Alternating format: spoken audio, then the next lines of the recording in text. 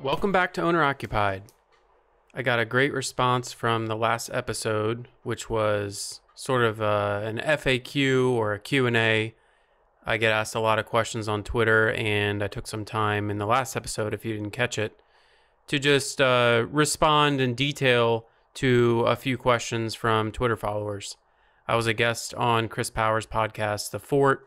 Go check that out if you haven't. And uh, ahead of that event, he had put out uh, just a question on Twitter that uh, if anyone had ideas of what they'd want to ask me about. And so I took some of the questions that weren't addressed on that podcast and just kind of piggybacked on those and brought them over here to Owner Occupied. So let me jump right into part two here. I've got four questions uh, that sort of remained from the, the first episode that we didn't have time to get to. So let me start with the first one.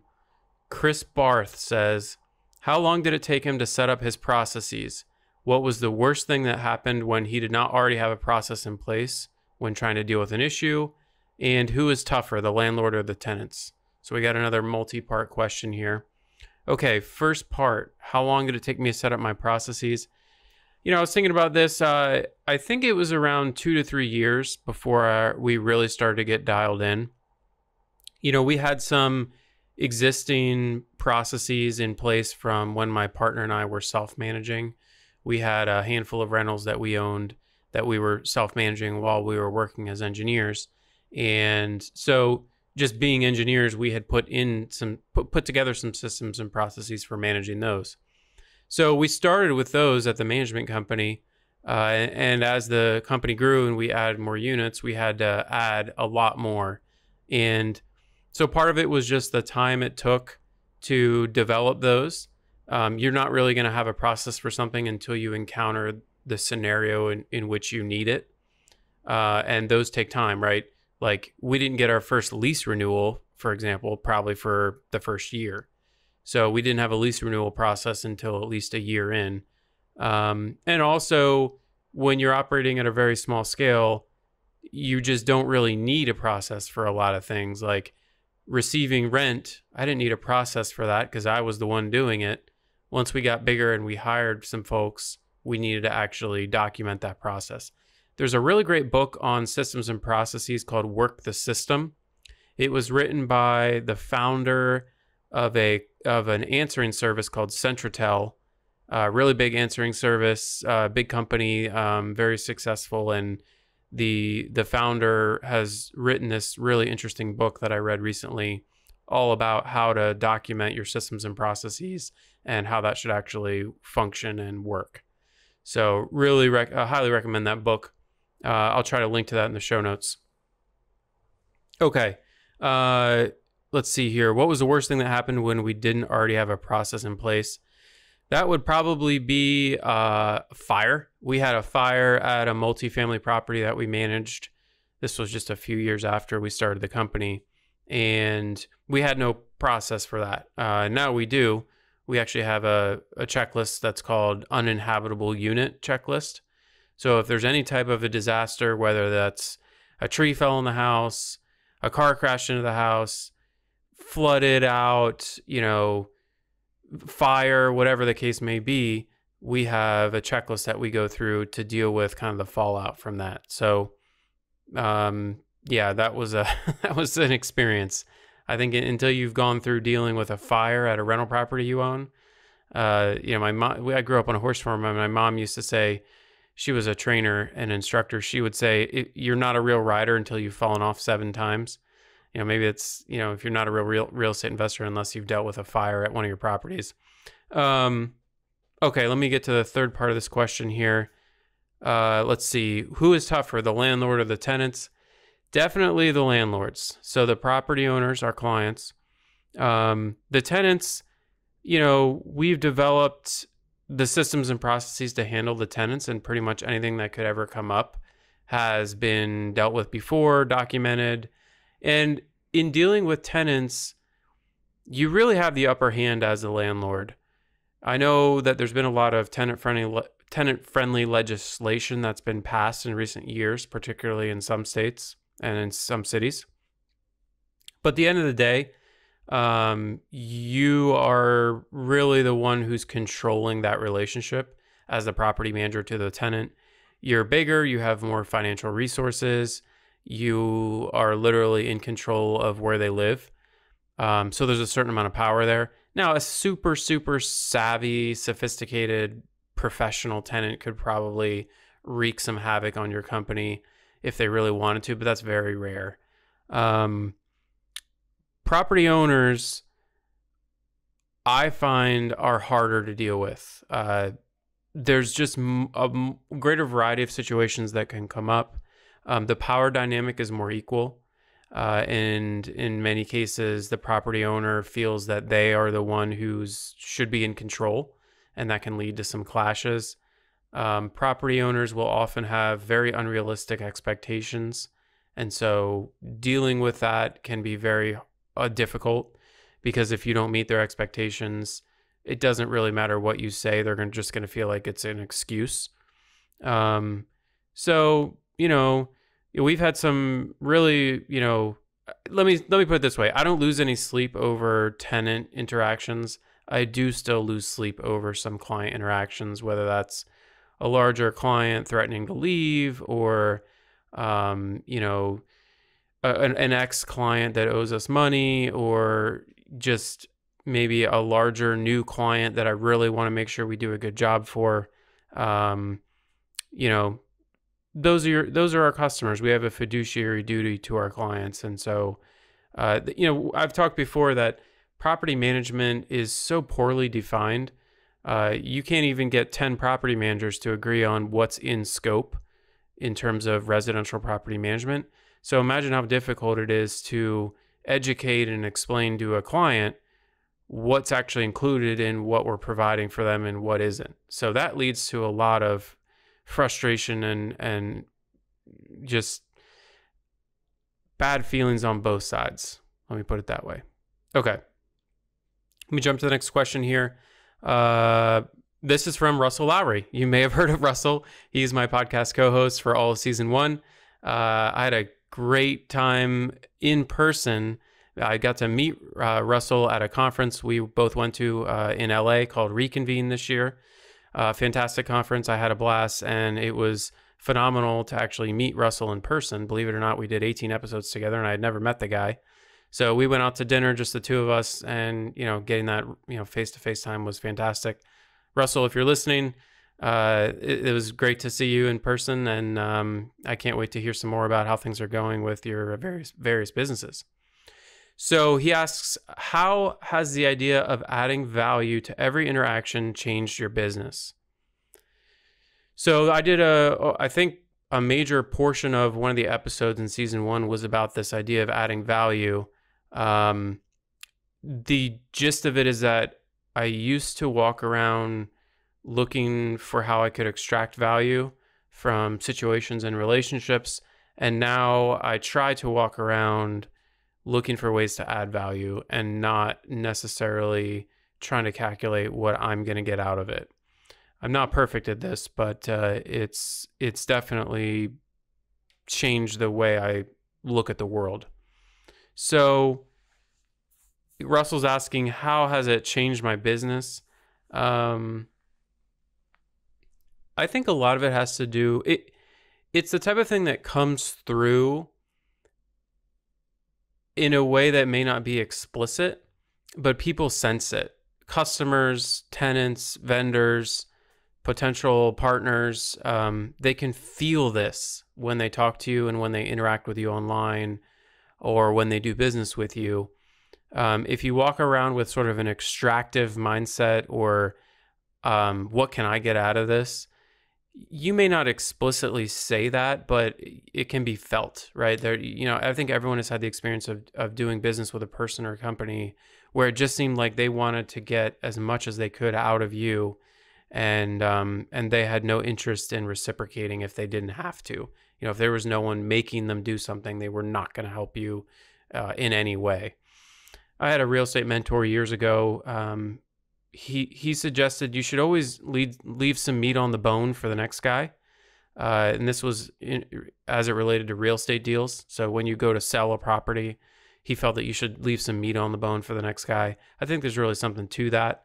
Um, so I have felt that my approach as it's evolved and as I've matured has made my business more successful. I think we have lower turnover with our clients and our employees um, because of this kind of subtle shift. I, I, I take the opinion as well that um, what goes around comes around. Uh, you know, your reputation has a way of preceding you after a while. And if you become known as somebody who's just going to bill for every second of their time and is always looking out for number one, that's going to that's you're going to become known um, sooner or later among your peers uh, within your industry. Like oh yeah that guy you know I, I wouldn't probably mess with him or you know how you know he's always looking out for number one. You've heard people say stuff like that and you don't want that you don't want that you want the opposite of that right? You want to be known as somebody who's easy to do business with who cares about others um, puts other people ahead of their own interests. And as a fiduciary you know in ohio a property management company is a fiduciary we have a, a duty to our clients to act in their best interests and so that goes hand in hand with this idea of adding value so uh, thanks for that question, Russell. Uh, question, Russell. Okay, uh, next question here from Jonathan Wasserstrom. He says, Where, if at all, does he see tech improving the status quo? Where do I see tech? Uh, apologize, my voice is cracking today. I don't know what's going on. I'm still, uh, I'm still growing up, I guess. Um, where do I see tech improving the status quo? So, I've talked before about how I view property management software as really being in its infancy. In a lot of ways, property management software has not evolved with the scale that many property management companies are now operating at. And I think there's a long, long way to go in terms of making workflow and process oriented software for property managers and for real estate investors. So that's a big area that I think a lot about. Um, where else do I see tech improving the status quo? Um, you know, obviously there's the remote work argument to be made. Um, technology is enabling a global workforce. Uh, most every property management company that I know of who's operating with any source, any sort of scale, is bringing in global workers. Um, they're more competitive in almost all cases they tend to have a better attitude than some American workers. And they're happy for the work. They love the pay, and why not, right? Um, if if you know if American workers are going to say that, well, I should be able to do my job from home. I don't want to come into the office. You know, there's part of me that's like, hey, be careful what you wish for. Um, I can carve out some remote positions, but if I do that, that sort of you know, that's not a guarantee that I'm going to give you that job. I'm going to look for the best global talent. And if there's someone in the Philippines who speaks perfect English, is highly educated, and feels that $6 an hour is a very high end middle class living for them, um, I'm going to hire that person. Why wouldn't I? And, and I have done. So, you know, technology is making that possible, right? Zoom, Slack, email, of course, but a lot of the tools that we're using right now are changing the game. So, that's going to help margins. It's going to help scale. Um, and it's going to help make property management over the long run probably more affordable for more real estate investors. Okay, what where how else am I seeing tech improve the status quo? Um, I don't want to get into the Zillow and Airbnb thing. I've talked a lot about that. Um, tech improving the status quo nothing else really comes to mind here. Um, property management is tasks at scale. Uh, it's an inch deep and a mile wide.